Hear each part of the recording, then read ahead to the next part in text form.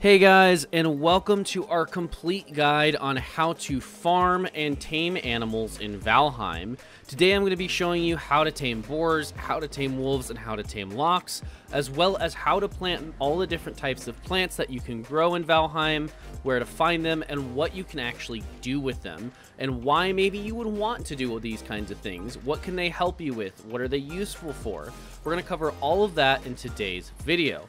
But let's go ahead and start out with the taming aspect.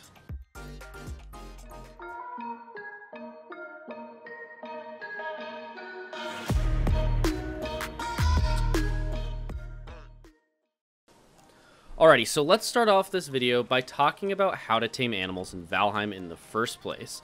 This is not hard to do whatsoever. All you're going to need to do is either A, sneak up to the animal like I would be doing here, and then you're going to go ahead and throw down a mushroom without it detecting you somewhere nearby.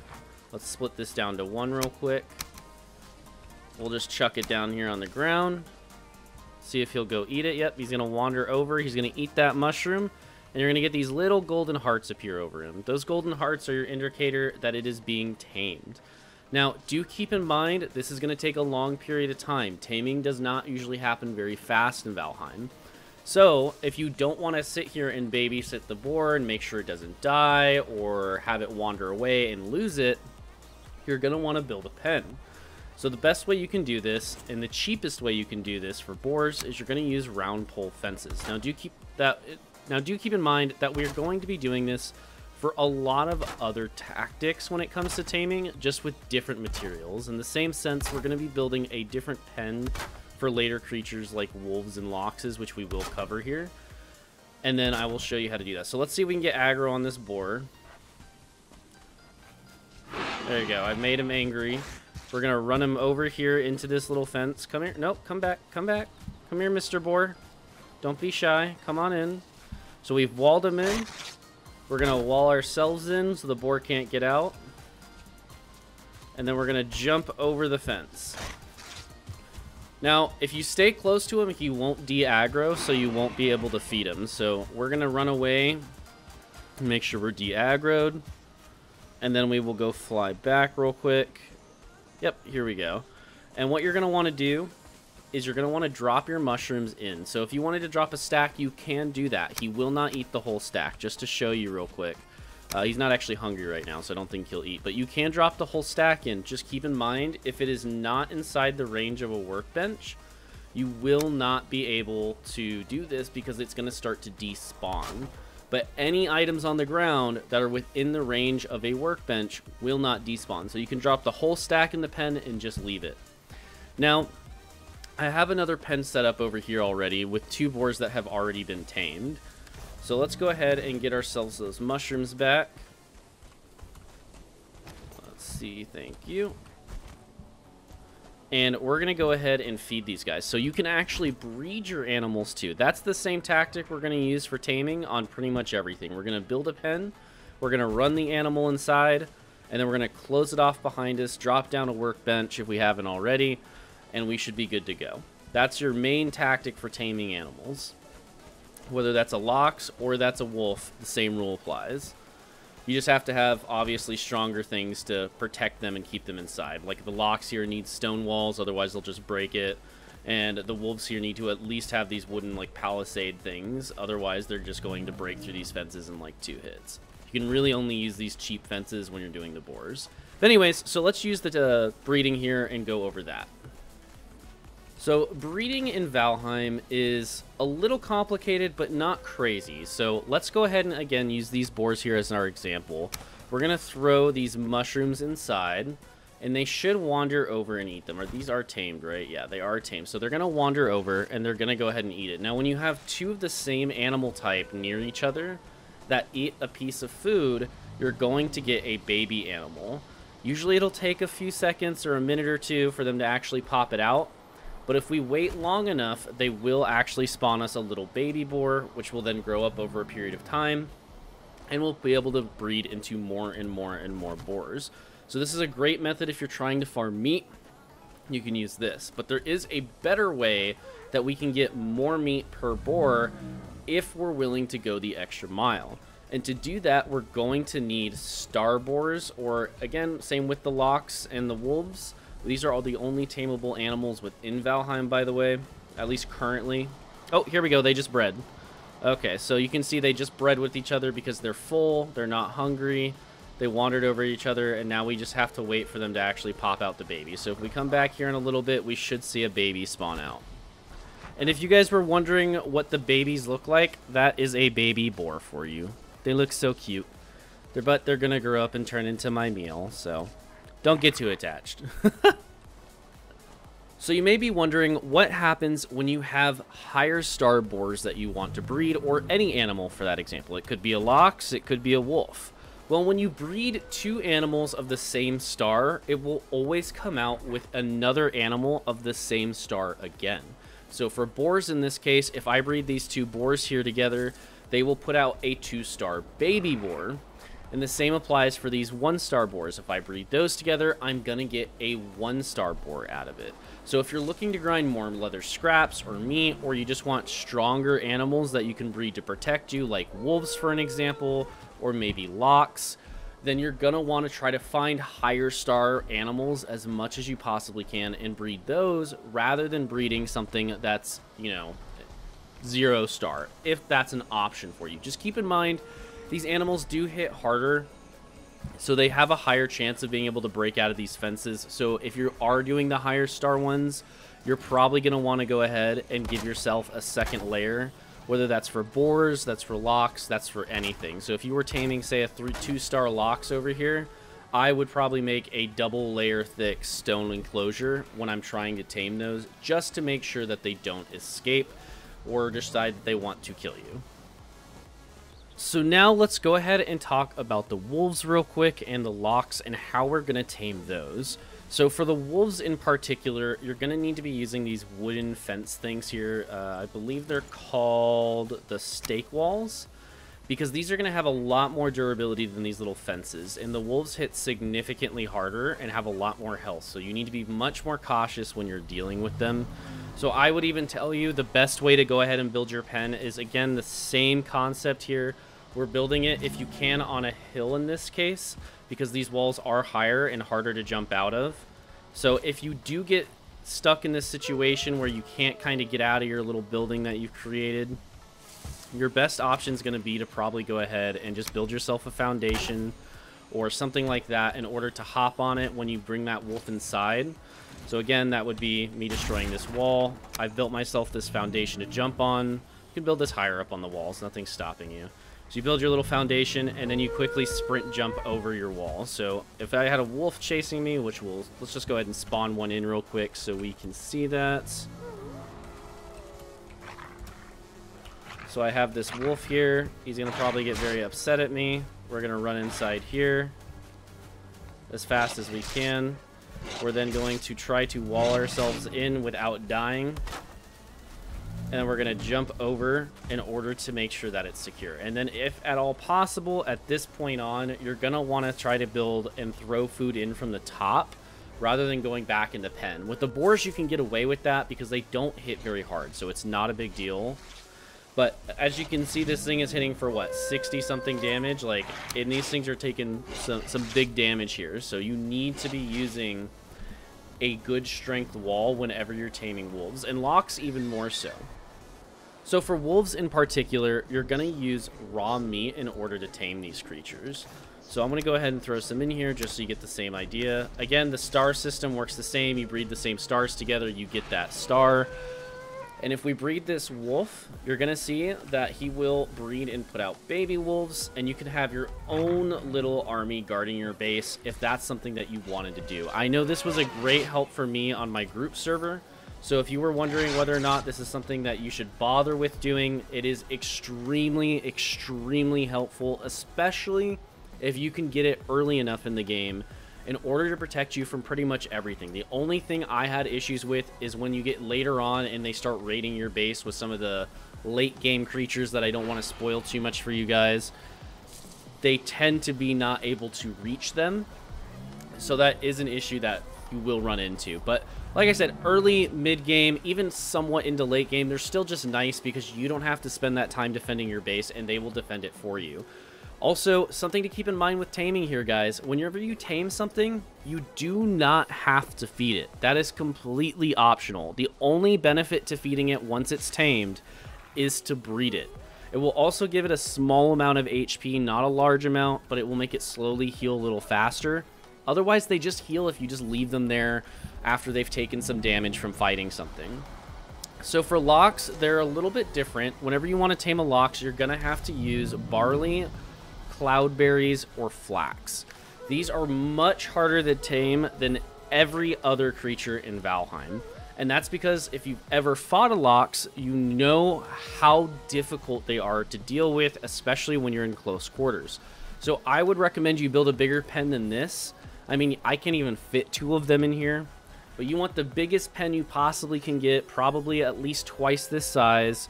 You're to close it in with stone, just like we did with these. Maybe build yourself a platform to hop out. Then run away, drop in some berries, or drop in some barley or flax or whatever you're taming it with from as high of a point as you can.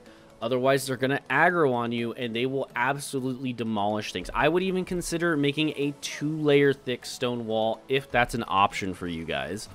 Loxes are beasts they are the trolls of the plains biome, and they hit extremely hard. So I think it's, even with full iron armor, you're looking at two, maybe three or four hits if you're lucky and have high HP before Lox is going to take you down. So just do be cautious of that, guys.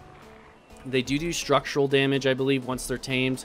So keep that in mind if you do have them at your base or wherever you decide to bring them, that they are a risk hazard for that. You can use them when you're out in that plains biome where you tame them or any biome you can walk them to. And hopefully it'll be something that you can use. I really didn't bother with the lox because they were just too much of a hassle and they really weren't worth it by the time I was able to get them. So either way, there's something there. You can tame all three of these different creatures in Valheim. Each one has different uses. The boars are a great food source. The wolves are great for protecting your base. And you can run around with them if that's what you want. I usually take one out when I'm chopping trees and it deals with all the little monsters that show up so I don't have to focus on them. And then the lox, I mean, they're just beasts. If you can tame one man, they are beasts. They breed the same way as everything else does. It's just very, very difficult to take them on. Alrighty, so next up, let's talk about the farming in Valheim. Now, in order to do this, the first thing you're going to need are a hoe and a cultivator. So we have both of those here. And the cultivator, if you don't know, is a bronze tool. So if you're wondering how to get it or something like that, that is how you're going to get access to that. So you're going to pull out your hoe, and you're going to probably want to level out some ground if at all possible. Again, this part is a little optional. You don't really have to level the ground out. I just like to do it. It makes my farm look pretty and keeps it nice and level so that I know my spacing is correct. Then you're going to take out your cultivator, and you have to actually cultivate the ground. This is different from hoeing it, so do keep that in mind. Level ground will look like this, a kind of a brighter color and cultivating the ground is going to look a darker color like this. So you're going to want to cultivate all of this ground so that you can plant things inside of it. Now there are a few things we can plant, but the most important one you're going to come across early on is going to be carrots. So when you're planting carrots, let's go ahead and spawn some of those in real quick.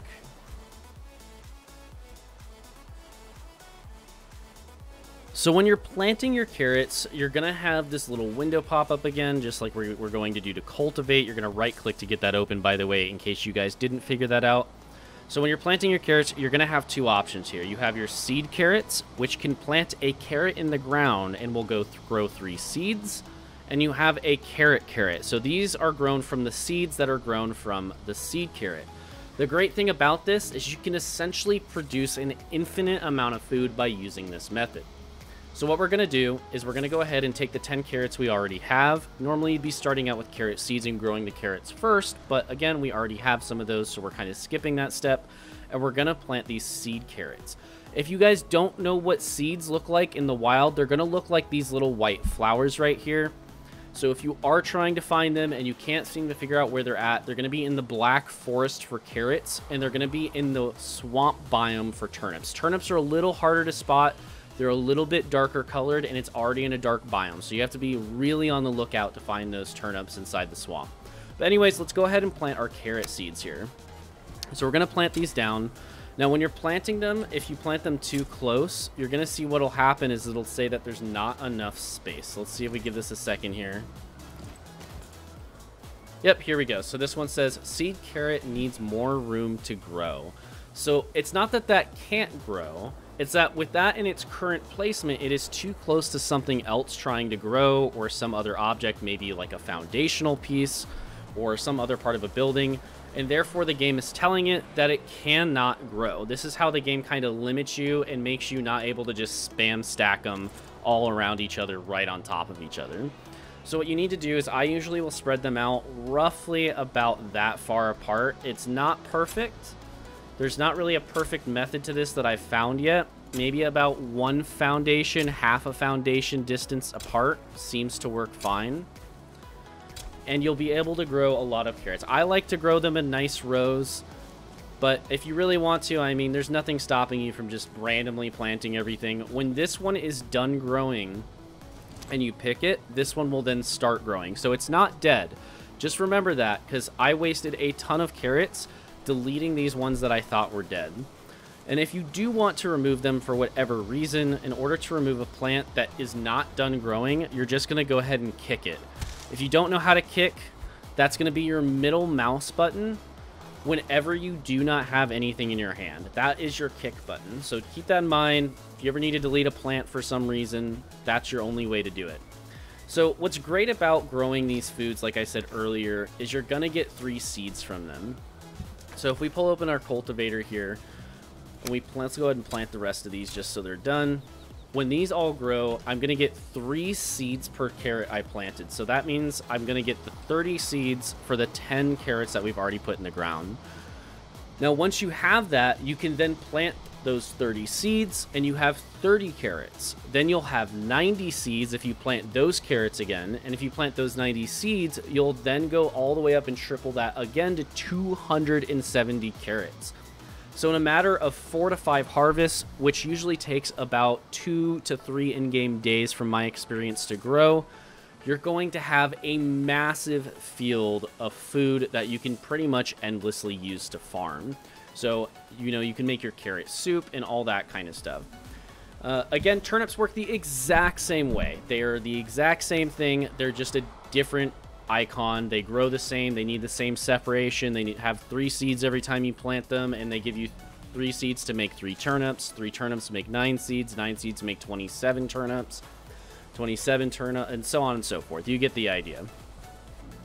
So you may be asking yourself, what is the whole point to this whole farming thing? Like, carrots are great, but they only give me, like, the same amount of food, stamina, and health, or whatever, as a mushroom, which I can just get all day long in the forest.